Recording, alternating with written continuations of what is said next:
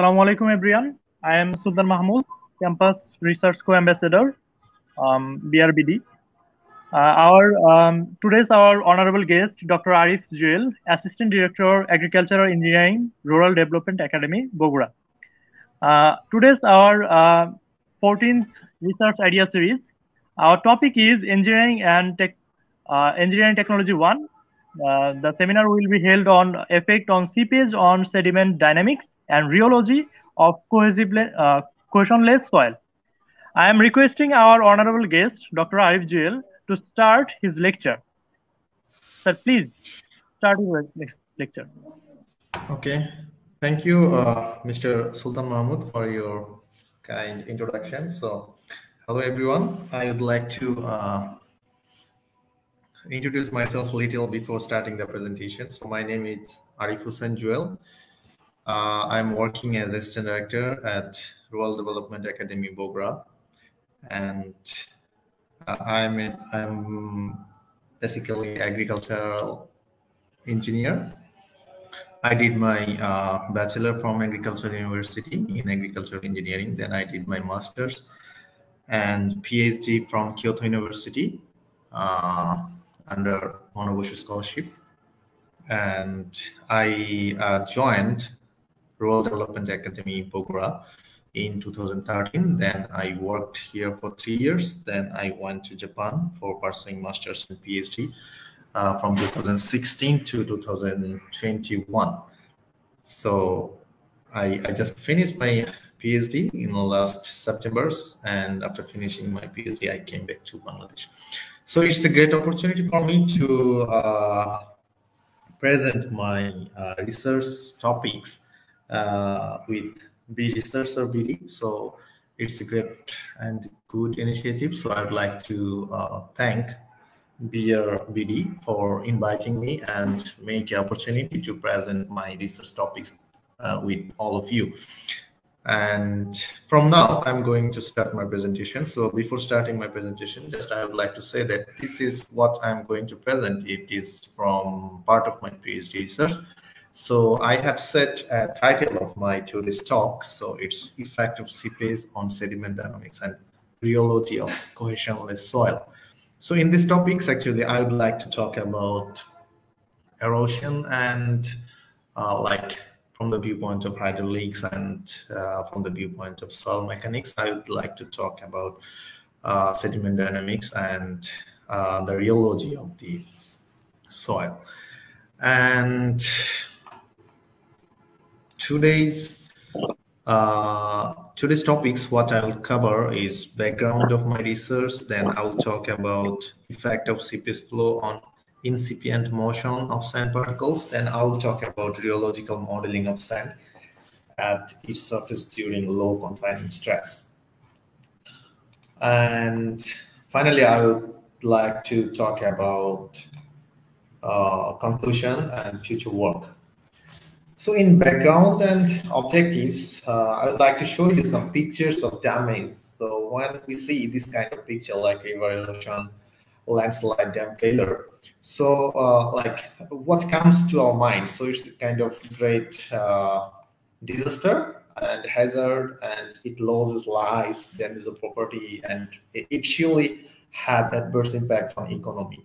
And what are the causes of such kind of failures? So, like if we consider the dam failure, so the main causes of the dam failure is seepage piping. These are the one. These are the main uh, uh, causes, and it has other causes also like overtopping, heavy rainfall, and unprotected slope. And it, obviously, if we use low-graded material, so like if you uh, see the left figure, like river erosion picture, so uh, here you, you can see it's a kind of uh, in, in the field of hydraulics or river engineering, we deal about like how erosion happens uh, in the riverbed or the embankment of river. And if we consider this middle figure here, landslide. So when a landslide happens, so this this is kind of a mud flow or big mass flow in the from a hilly area or a slopey area. So it, these topics are generally covered from the viewpoint of hydraulics and soil mechanics. And if you see the cornermost, right cornermost figure here, I have shown a earthen dam, and here there is a river, reservoir upstream of the dam, and there is obviously a, something in the downstream of the dam. So what you see that one of the important causes of dam failures uh, in uh, in the world, around 40% of the dam uh, is failed due to the piping erosion. So what is piping? Like it's a kind of internal form of erosion where the particles, soil particles are drained or washed away and it makes a pipe from where seepage happens and gradually it creates a, a big, uh, bigger diameter hole and which eventually makes a collapse of the dam. So uh, this actually uh, this kind of piping or the internal erosion is uh, lying between boundary between soil mechanics and hydraulics. So that's why uh, actually this topics is not um, how to say uh, there are many resources uh, there are many resources which have been done uh, individually from the viewpoint of soil mechanics and from the viewpoint of hydraulics but by correlating how to correlate and how to make a model by combining these two types of things. Has not uh, there are a few researchers in this field so i have chosen some kind of topics to for my research. And uh, i would like to broaden my uh, objective here like if we uh, consider this kind of phenomena here what we see there are bigger diameter particles these are the soil particle and there are smaller diameters uh, particles. So uh, particles it's kind of a combination of many different kinds of diameter particles so here, dotted arrow shows the detachment of a single soil particle and solid arrow uh, mentions the motion of soil mass. So what uh, what we call soil mass? So when we call when when we find a mass or aggregate of soil particle, then it is a soil mass. But individual means single particle or two or more particles are detachment is called kind of single particle movement. So separation of single or small number of particles are and this is kind of pickup rate or erosion rate, which is really in the field of hydraulics. But aggregate of soil particles, which is kind of a mass of particle, which is when a failure happens due to a piping or internal erosion, then it is fluidly deformed and it is kind of continuous motion. So what uh, we cannot deal in the field of hydraulics because in con continuous motion, we have to define a shear rate, which is possible in the field of uh, soil mechanics. But when you deal about hydraulics or river engineering, you don't think about this continuous motion and shear rate. So we need a bridging for both type of discipline if we want to make a system uh, which can accurately handle soil erosion problem or the erosion problem in the uh, field, then we have to combine this type of topics. So uh, the objective of my research topic is uh, I would like to see the seepage effect on soil erosion and from the viewpoint of hydraulics and uh, uh, make a rheological modeling from the viewpoint of soil mechanics. And from now, I'd like to talk about the effect of injection on incipient motion of sand particles. So what is the motivation and what's the challenges between this uh, for this type of topics? Actually, uh, I have said here injection. So injection is a kind of uh, seepage, uh, like there are two kind of seepage flow, like parallel seepage flow and normal seepage flow. If you see here, parallel seepage flow is seepage flow is happens under uh, under the surface or in, in the groundwater.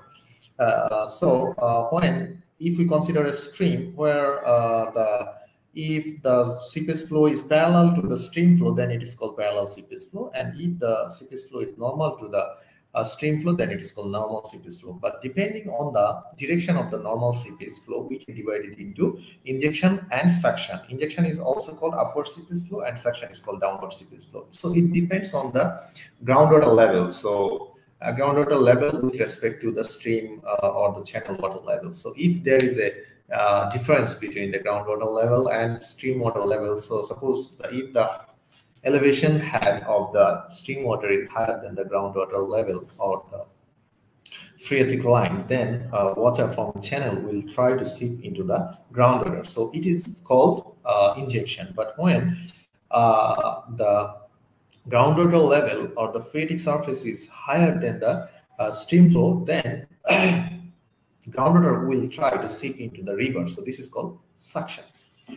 And uh, this is actually uh, happens uh, through the permeable boundaries. Permeable boundaries is kind of uh, soil boundaries actually, natural rivers, irrigation and drainage facilities or earthen dam or embankment.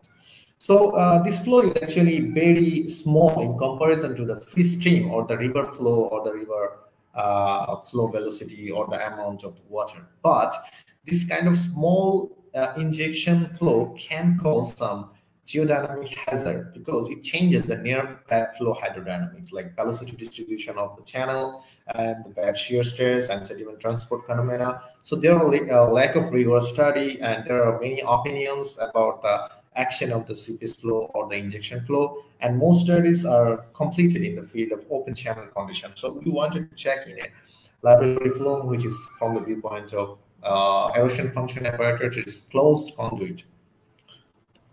And this is the mechanics behind the sediment transport. So here, if we consider a particle which is in entrainment, like which is in the condition of the incipient motion, then like there are many forces acting on a particle like this is the channel flow uh, which is the velocity distribution of the channel flow and there might this is if it is a earthen channel if the boundary is permeable then there should have seepage flow and and you, see there are there are buoyancy force and drag force and seepage force and particle void force such many forces are uh, acting on a particle so this is enlarged frame of the uh, entrainment particle. So here, like all the forces, mainly uh, these are proportional to the diameter of the soil particle because the diameter uh, measures the exposed area of the particle. So uh, by using such kind of analysis or the force, we from the physical properties of the soil, and uh, physical uh, phenomena, we can define different kinds of forces like that. Then we can define a dimensionless quantities, which is called shield parameters, which is widely used in the field of uh, hydraulics or river engineering. So this is the uh, ratio of the drag force and uh, submerged weight force. So by uh, doing some mathematical analysis, we can get such kind of relationship. Then there's so we need a seepage force because in my condition or in my research, there was surface flow and there was injection flow, which is a form of seepage flow. So seepage force is a, uh, proportional to the hydraulic gradient. So hydraulic gradient is nothing but uh, like uh, how, how, to say hydraulic gradient is uh, proportional to the water head actually. So seepage force is proportional to the hydraulic gradient. So uh, dimensionless critical bed shear stress during seepage flow. So if we consider this kind of seepage flow, that this, since seepage flow is happening to the upward direction of the uh, FG, which is weight force, so there is a minus sign of here. Then we can make a relationship like that. And here we should uh, keep mind that bed shear stress of the critical bed shear stress is proportional to the shear velocity, which is U star. Then uh, here uh, we consider that ratio of the uh, dimensionless critical shear stress uh, before seepage flow or injection flow and after seepage flow injection flow will be the same uh, uh, will will be the equal because this is a if you see here there are two kinds of it's the ratio of two kinds of force. It's a kind of horizontal force fd is a kind of horizontal force like this one and Fg is a kind of normal force or vertical force. This is the ratio of two forces. So it is a kind of uh, friction coefficient of the particles or a tangent of the angle of repose. So it is a kind of material parameter for a material. So we can consider that it should not be changed even if the flow or injection flow is going to happen. So from that, by doing some mathematical formulation, we can get such kind of relationship. So this is a linear relationship you can see in this picture. So this is kind of boundary condition from where we can define, okay, uh, below this line, particles move. So when we reach this line or above this line, then particle will move. So this is a kind of linear decreasement. So as the hydraulic gradient is going to increase, then such kind of forces are going to decrease, like bed shear stress and critical bed shear stress. So we'll confirm this kind of figure or this kind of uh, phenomena in our results. So these were the uh, materials or methods what we used. So these are the physical parameters of the material. So we also determined the, uh, how to say, hydraulic gradient. And uh, from the hydraulic gradient and seepage flow velocity, uh, we we determine the hydraulic conductivity. And this is the experiment actually. This is the lab from where I did my experiment. So I used a laser-based particle image velocimetry method, PIV, in short form it's called. So it is a kind of non-intrusive uh, method because uh, most of the method to determine the velocity or making a velocity profile of a channel, uh, we have to use like current meter or uh, yeah, like pitot tube or current meter we can use to uh, or the propeller to measure the velocity. But uh, it, these are the kind of destructive or intrusive method. But this method is a non-intrusive method from where actually there is a laser which illuminates or uh, enlighten and enlighten the channel flow and obviously the flow should be seeded with some particle because laser should cap capture from the particle velocity from some seeding particle we have to use here then we can get some picture. And from this picture, by analyzing, doing some image analysis, we can get the uh, velocity vector map from where we can get the velocity profile like that. So in my channel, so there was a water tank which which uh, generates the seepage flow like that, and there was a uh, another tank from where we uh, generated the surface flow. So this kind of two kind of uh, flow, flow is happening here. The seepage zone. This is seepage zone, so I uh, focused the laser to capture the picture of both zone. Like this is kind of upstream edge of the seepage zone. This is kind of seepage zone. So we uh, captured the picture in such a way by which we can analyze the velocity profile in both zone, like here and here.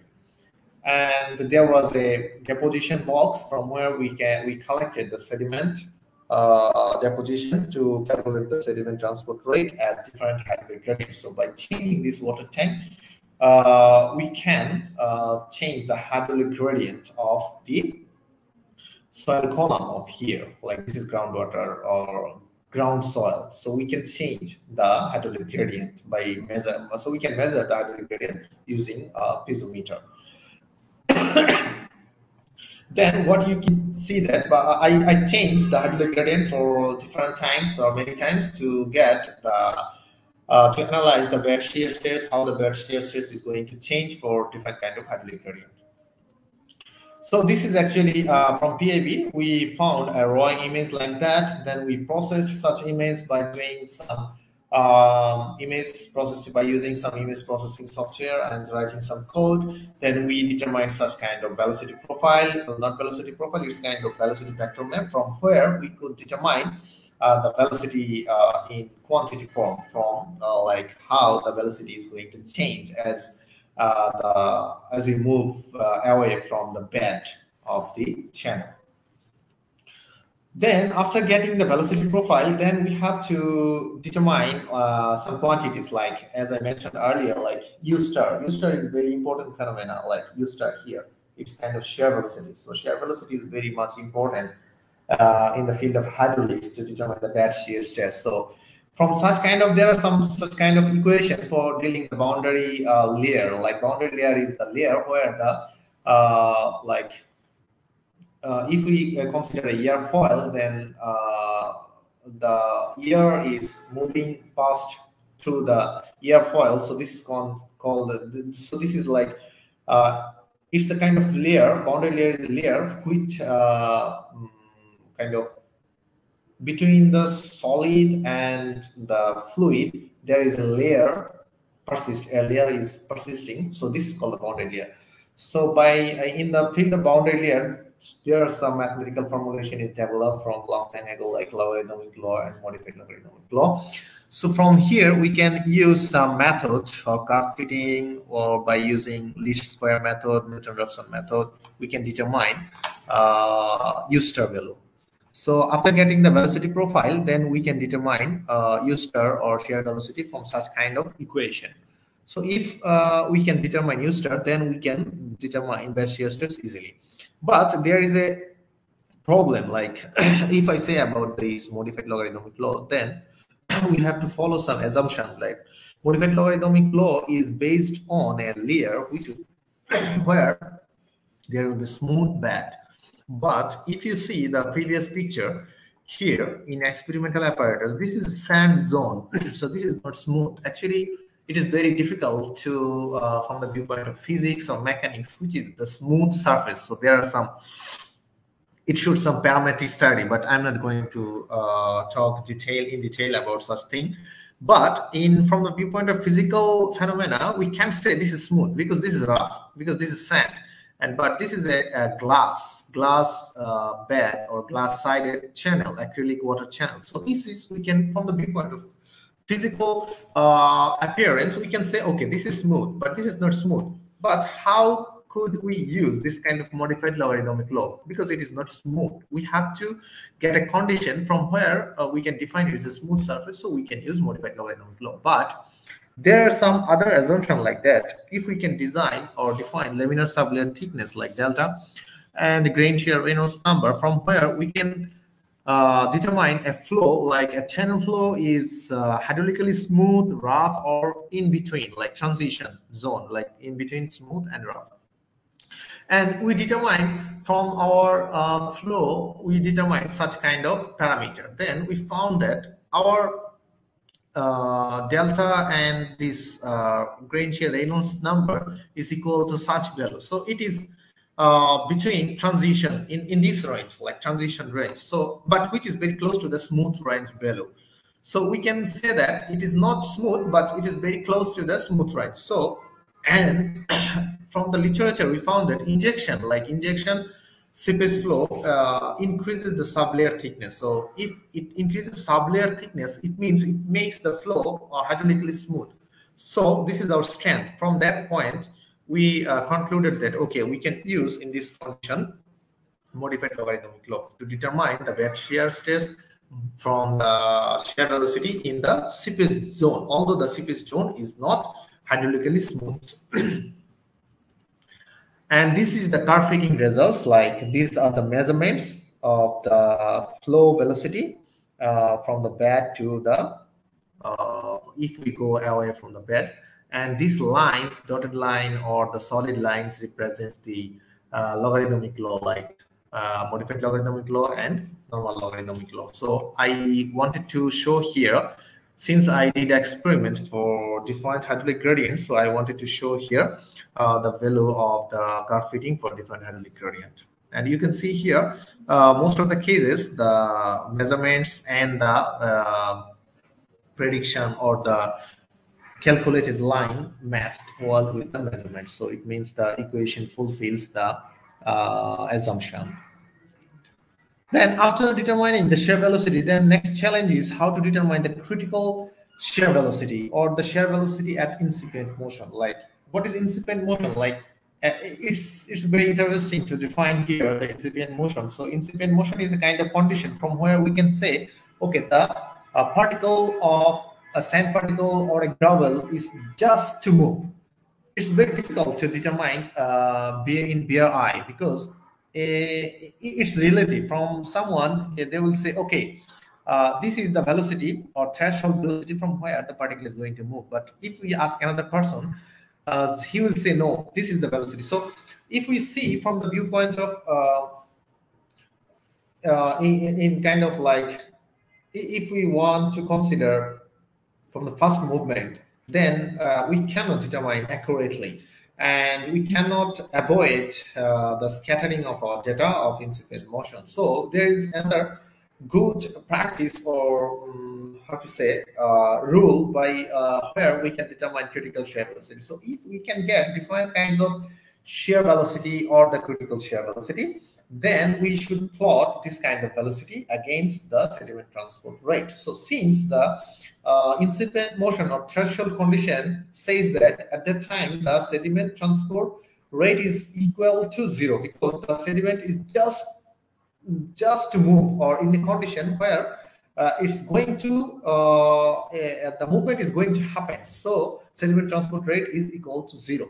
So how to get it? So if we extrapolate the a line where y or sediment transport rate equal to zero, then we can get a point which is in between such velocity. Then we can define, okay, this is a uh, acceptable range from where a value or range from where we can define critical shear velocity. Then after getting the critical shear velocity, so I uh, so this is the measurement method of the critical shear velocity. From here, I would like to define for my case for different uh, different uh, hydraulic gradients. I plotted the shear velocity and sediment transport rate. Then I determined the critical shear velocity. Here you can see U star CS. U star C means like uh, critical uh, shear velocity. Uh, S means during the seepage or the during the injection. So here you can see if we extrapolate this line like that, then we can get a minimum value from where we can define this is the critical shear velocity. So we should keep in mind that critical shear velocity is a minimum value uh, from where we can define that the particle is going just going to uh, in the movement condition. So here you can see the sediment transport rate variation small, even the hydraulic gradient is going to increase. And the shear velocity value varies in very short range and sediment transport rate is linearly dependent or in, incrementally dependent on the shear velocity. So this is for upstream edge of the seepage zone. But we have two zones like at, at before the seepage zone and in the seepage zone. In the seepage zone, you can see uh, the shear velocity and sediment transport rate relationship. So these are more or less same, but here one uh, we should keep uh, notice that we should notice here the shear velocity range is uh, here higher. So you can see it does not uh, cross the extrapolation line does not cross. Although if we plot all the hydraulic gradients in one figure, then it will cross obviously. So these are not parallel line, but it is very, uh, how to say, in the field of hydraulics, we say it is very difficult to determine such kind of phenomena uh, because these are highly variable in, in terms of time or in terms of uh, space or both. So it's very difficult. But here, from here, we can say that in the seepage zone, the prediction line, this is we, we also call the prediction line of the sediment transport. This is kind of steep uh, if we compare to the upstream of the seepage zone. It means that in the seepage zone, depending on the hydraulic gradient, the sediment transport rate is going to be increased.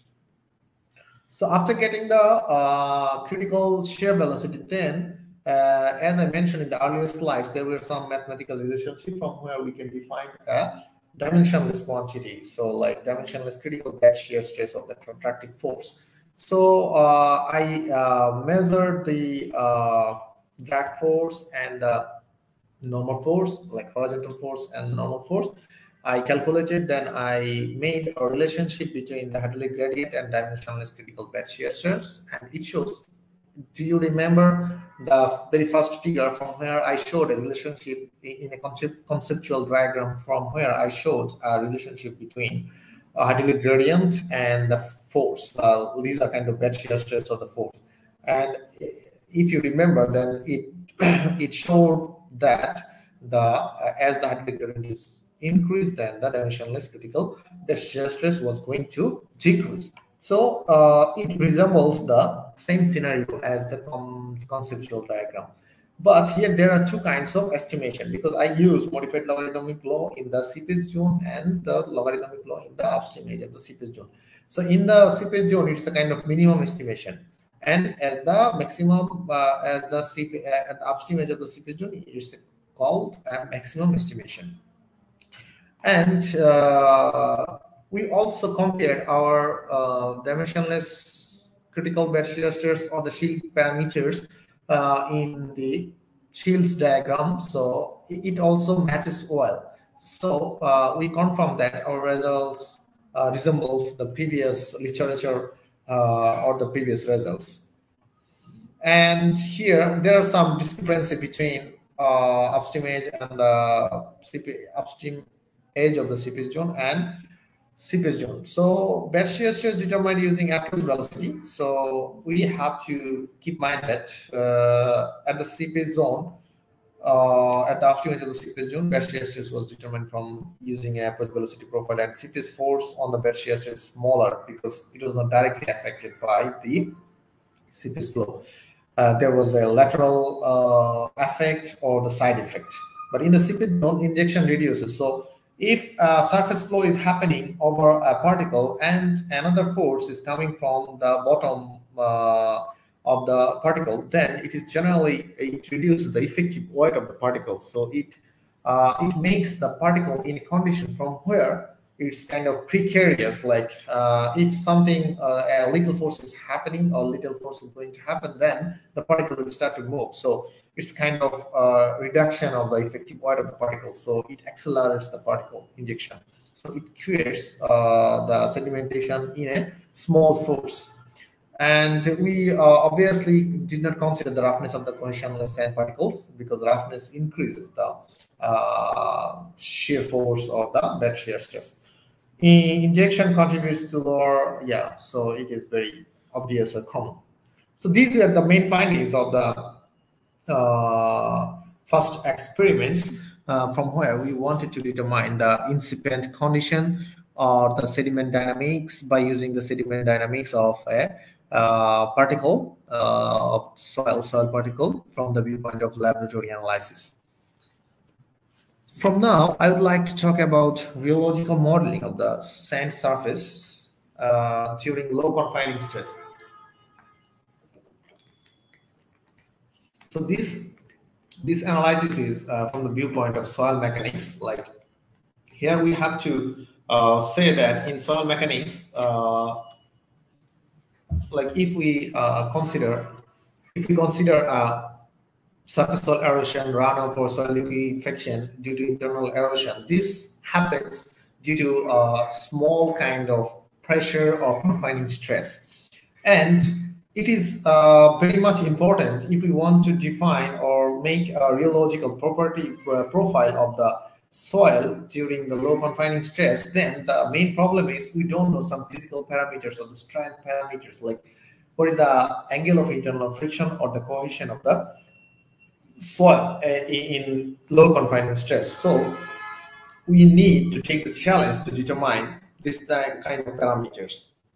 But the problem is how to determine this kind of parameters in a small uh, low, uh, low stress because in low stress because most of the geotechnical apparatus or geotechnical lab or the geotechnical analysis uh, deals with the high pressure or like in measurement of kilopascal or megapascal. So uh, our main concern is to get apparatus which can determine very small changes of the stress. Uh, so if we see this kind of figure, you can see like uh, it is a relationship between the normal stress and the shear stress. This is a kind of yield uh, line or the locus, yield locus from where we can define the failure line. So if we consider the failure line, then you can see the failure line is lying between elastoplastic model and viscous resistance model. What is elastoplastic model? Before, during, uh, when the soil is acting as a solid particle, like it is not, it is not a mud flow or it is not uh, landslide. So soil is uh, like if we consider a soil from the viewpoint of what the soil, what we see in the field condition, which is not flowing, which is a static soil. This is kind of it is kind of elastic and plastic material soil. So it's a we can define an elastoplastic model from the properties. But when uh, in a mud flow, the soil uh, is uh, the water is mixed with the soil and soil particle is mixed with the water by in vice versa what we say in, in that condition, soil is uh, it, moves like a uh, fluid and it's moved in a mass. So here uh, it, it becomes a fluid or viscous resistance model because in that case we uh, find the viscosity from the viewpoint of fluid from the viewpoint of water or something like that. So uh, we have to find a condition in the failure line, so we can say in failure line, we have to find two things like elastoplastic things, in, like in solid form and like in viscous thing in fluid form or liquid form. Then uh, for low stress, we found a novel apparatus which was previously uh, tested or verified in the field of powder technology, pharmaceuticals, or fine chemicals for defining the flowability of the fine particles. And it is it has proven applications in, in, in this field. So it is excellent reproducibility and sensitive. It's very sensitive uh, apparatus and it has advanced control system and it also conforms the standard of ASTM and it can uh, why it is promising in geotechnical analysis? Because it can measure the low stress. This right this is very low stress in the uh, in the field of geotechnical. Generally geotechnical people does not consider such kind of stress for their analysis. And it has the finest aeration control unit from where we can resemble the seepage flow through the bottom of the uh, soil column or the soil mass and we used a fine soil silica sand, case number seven, and it was the properties like median diameter and the particle density of like that. And what is the principle of this kind of, this apparatus name is FT4 uh, powder rheometer. So in the, okay, what is the operating principle of the FT4 shear stress device? So how we determine the shear stress by using this kind of apparatus? So it has a shear cell like circular shear cell and it has some blade which can rotate over the sample. Like if the sample is here, then it can rotate like that. And we have to give a normal stress by using uh, by using this kind of axis axial force. Then uh, and we have to by using the advanced control system, we have to also give the uh, rotating uh, velocity of the shear cell. Then uh, how we determine the yield locus. Yield locus is a function of uh, yield locus is a function of like shear stress. So like these are the shear stress and normal stress relationship. So if we uh, give a particular normal stress, then we can get the shear stress. So uh, shear stress is a function of normal stress. So we have to give a normal stress for a consolidating consolidating load, then we can determine the shear strength or shear stress. And by plotting such kind of points, the, this is kind of a peak points or the failure points from where the soil start to fail. So by using this, we can get a yield locus like that. So it has two steps. The shear cell has two steps like consolidation and pre-shear. So this is this step is pre-shear. So it uh, if we apply a pre-shear or pre-normal stress, then it reaches, then it becomes steady state flow where the shear stress and bulk density does not change. Then the force comes to uh, force comes to uh, zero shear stress, then it starts to increase again and it reaches a, at a particular normal stress, it reaches a failure point from where we can define a points, which is the failure points of the uh, for such a normal stress. Then we can measure such kind of shear points like that by repeating such kind of stress automatically. If we put set the program in this device, then it will automatically uh, create such kind of points uh, by analyzing such kind of uh, steps doing such kind of steps. So it has some uh, mathematical formulation uh, there are some relationship between the torque. So it, it creates a torque then uh, from where we can determine the shear stress and this is the time variation of the shear stress. And if you see as the time goes the shear stress goes to increase then it reaches a peak then it fails. After fails the there is a residual strength. But since we were dealing about the maximum strength which can resist the incipient motion or the just uh, moving of the particle so we consider the peak strength not the residual strength. And we also confirmed we wanted to see how this normal stress uh, apparatus the result of the normal stress or the this kind of failure line uh, by using the ft4 apparatus resembles with the uh, direct shear stress or DST apparatus. Direct shear stress apparatus is widely used in the geotechnical engineering field. And for such, for determining the soil properties like shear strength or angle of repose, we um, or making a normal stress and shear stress relationship, we use this kind of apparatus uh, widely or popular. It is very popular. And these were the uh, range for normal stress range. You see the range is higher than more more higher than the FT4 range. And for 100, 200, 300 kilopascal, we determined the we did the test to resemble the result with the uh, FT4 test. And it has uh, another um, system of the apparatus. It has aeration control unit by which we can make the soil mass or soil particle uh, it, makes this uh, by using air we make this is a fluidic condition. From where we define or we can get the uh, viscous resistance model. As i mentioned earlier in the failure line the soil lies between two models as elastoplastic model and in viscous resistance model. So we have to get so we call it uh, fluidization so if we increase the aeration or air velocity here, then it becomes fluidic. And in the fluidic, before the fluidization, soil particles are bonded each other, or there are higher friction force or the shear force. But during the fluidized, fluid, uh, fluidized state, there is no friction force between the particles and, and the torque or the force only coming from the viscosity. but when there are friction, we cannot determine torque, which is only coming from the viscosity and we needed to calibrate our FT4 um, mm, blade, FT4 shear blade, to determine this kind of uh, viscous viscosity uh, for the soil particle. So we calibrate with the standard fluid, standard liquid or standard uh, liquid. So this is the JS 100 to 160,000. So as the number goes higher, and viscosity become it becomes very viscous. So this is very viscous fluid or the liquid. And from uh, this, we calibrated our uh, FT4 shear blade and we found a mechanical constant from this kind of relationship. And we wanted to check how the density affects during the low stress. So I uh, made the relationship of the failure line for different kinds of density.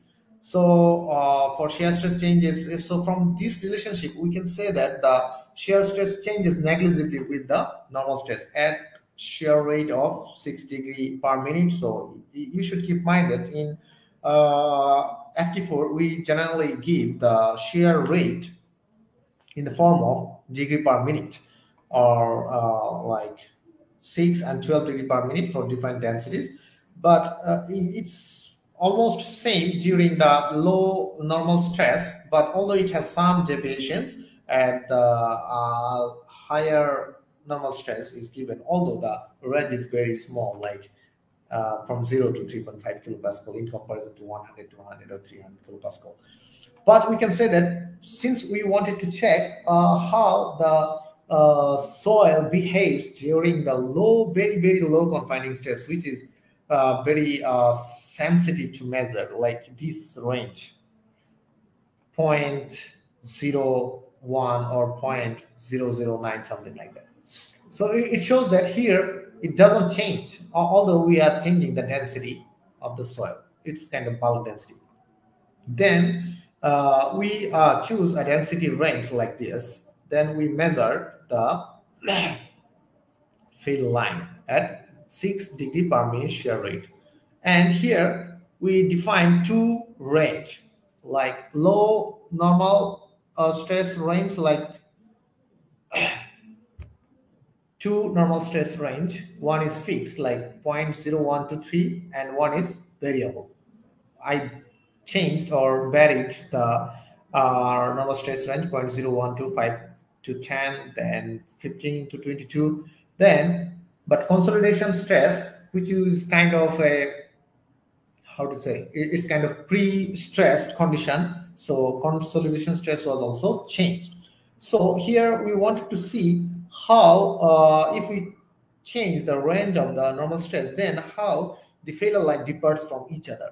So here we can see that we can see that failure lines depart at very low stresses, like these low stresses, it departs from one to another, irrespective of consolidation stress. So although the consolidation stress is not same, but it changes during the, this uh, low normal stress. So from where we can define the angle of repose and and we can also define the cohesion of the soil what we wanted to determine during the low confining stress and we also determine the angle of internal friction and cohesion. Then we made a relationship between consolidation stress against angle of internal friction and cohesion. Then it shows that as the consolidation stress increases the angle of internal friction goes decrease. And the cohesion is also decreased but uh, there was a single deviation of at this range. It deviates from the uh, trend and here you see i highlighted here that during the low normal stress range angle of internal friction in comparison to this normal stress range angle of internal friction was higher. And cohesion was higher for higher normal stress range. And this is this results like this uh, black and the, the, there are huge points here. And so uh, yeah it, shows very uh, how to say dark so these are the normal stress for dst like direct shear stress apparatus so as I extended the normal stress, uh, the failure line from which was determined from the FT4 for uh, DST. So it shows that failure line in the high normal stress, high stress condition can be applied in the low stress condition because it matches. Failure line is matched. This is the failure point. So failure condition here. It the failure line for FT4 matches with the failure line of the a direct shear stress. So it means the FT4 results are applicable in geotechnical analysis for standard geotechnical analysis. And in, in case of aeration test results, so we showed that we uh, determine a condition from where fluidization happen or fluidized condition happens, like as the air velocity and the air pressure, we, we if we make a relationship, then we show that as the air velocity increases, the air pressure also increases. But at some points, the linearity relationship becomes changes. So here the linear linearity is changes, deviates. So it means here uh, it is not increasing as the uh, previously it was increased. So this condition is called uh, fluidized. We, we can confirm that this is fluidized uh, condition. So we can get, we can find a air velocity range from where we can set the air velocity to get the fluidized condition. So at like from this range, in this range, we can say that if we uh, put the air velocity level like that, then we can find the fluidized condition of the soil particle.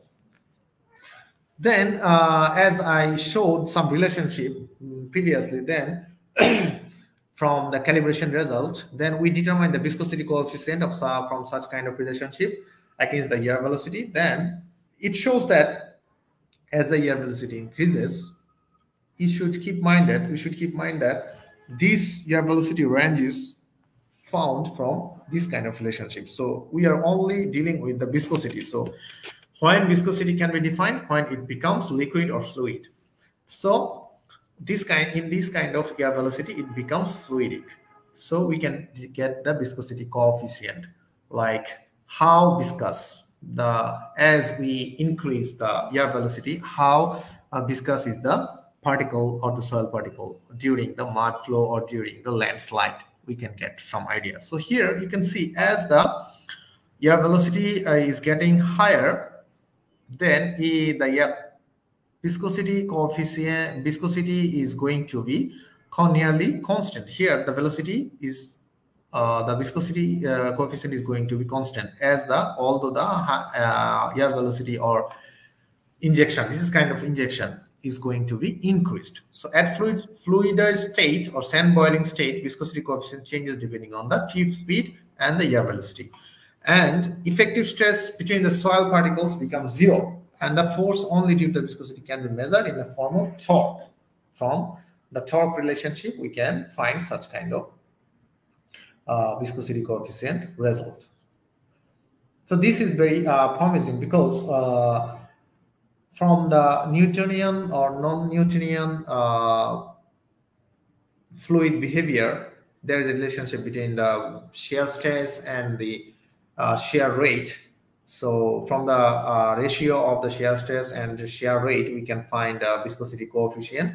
So uh, viscosity coefficient at uh, one stage doesn't get changed for the stand fluid. So this it means that uh, at some stage it uh, resembles the Newtonian fluid behavior, Newtonian fluid behavior. And finally, I uh, would like to conclude my uh, presentations by showing some conclusions here. So what source the conclusion?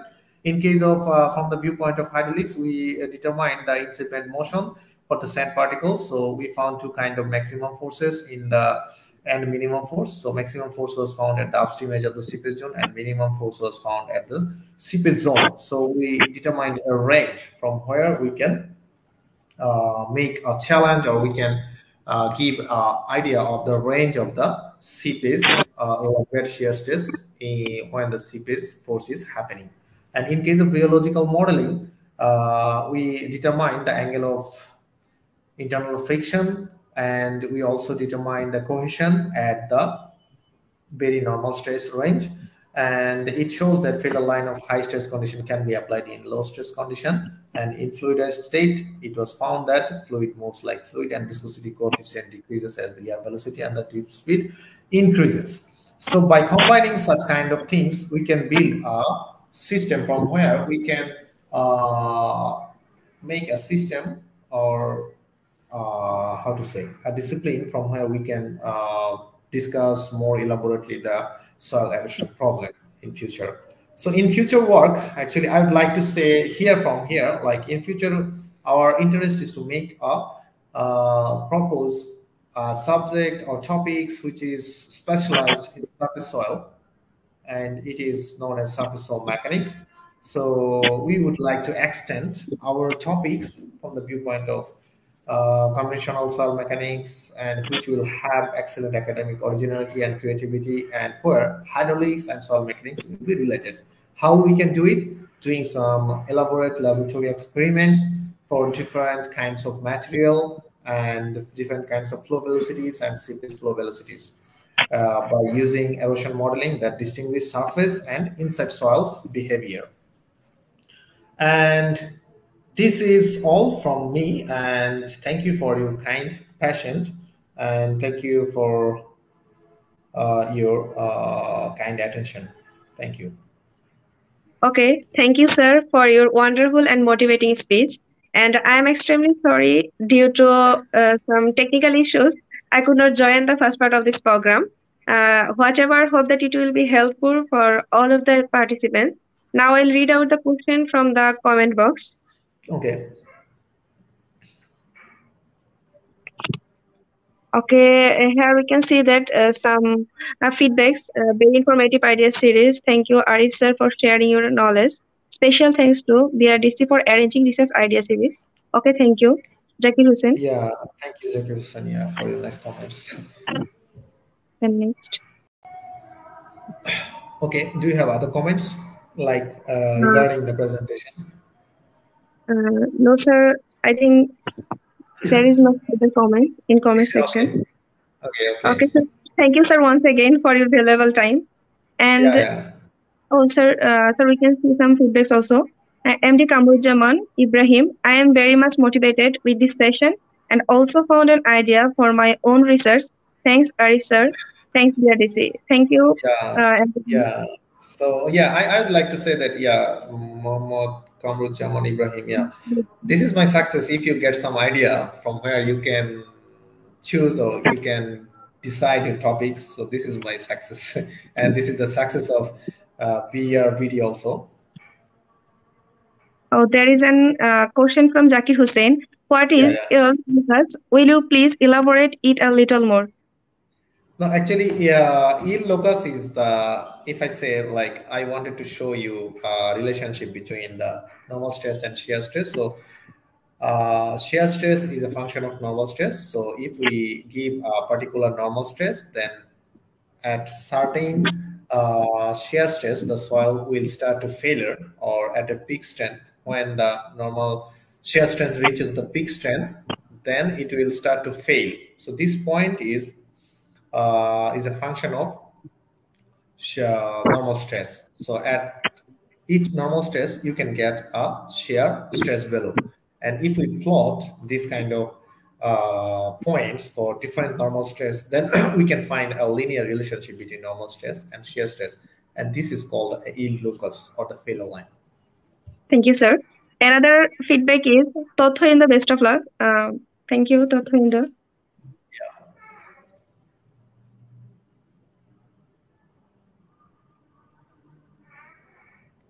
Okay, thank you, sir, once again for your valuable time, and also thanks the audiences for your participation.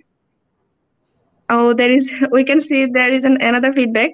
How can uh, how to can we calculate failure phenomena during loss stress? Uh, I think the question will be low stress. It is not low stress. So it, it maybe yeah. I I think it is uh, he, it is kind of type mistake. So it, it will be yeah. It will be low stress. So as I as I showed uh, in my presentation. Uh, so you can you can uh, determine the failure line uh, from by using the direct shear stress apparatus or other kind of apparatus which are widely used in the geotechnical field. But in case of low stress, you have to uh, consider the low stress or the low confining stress condition. So you have to uh, find or you have to make a special kind of apparatus which can deal with the low stress condition. Condition. So we used uh, apparatus uh, which is called FT4 powder rheometer uh, by using this, we determine the uh, failure line uh, of, during the low stress condition. Okay. Thank you, sir. Yeah. so yeah, if there is no question, then I, I just would like to, uh, uh, uh, yeah. So do you have any other uh, talk or any comments about this kind of program of this program? Thank you, sir, once again for your valuable time and also thank audiences for their participation. Yeah. So there is, so, yeah. So there is, uh, there is another announcement for uh, BRBD. Our next research idea series, number 15, will be held soon to get updates of our activities. Following our page, join our group and subscribe to our YouTube channel. We are happy to inform you that we are now a family of nearly 34K members, including groups, pages, channels, and LinkedIn pages in a very short time. Stay with Gobeshok Hote Chai, be researcher BD, and invite your research enthusiast friends to our platform. Thank you for being with us. Wish you all success and good health. Goodbye, sir. Yeah, yeah. So I, I just would like to uh, say thank you to uh, BRBD for giving me an opportunity to uh, present my research in in a wide audience. I hope so. and I think it I think it is uh, recorded. So uh, and you will upload it in your YouTube channel, yeah. So and pages yeah. also.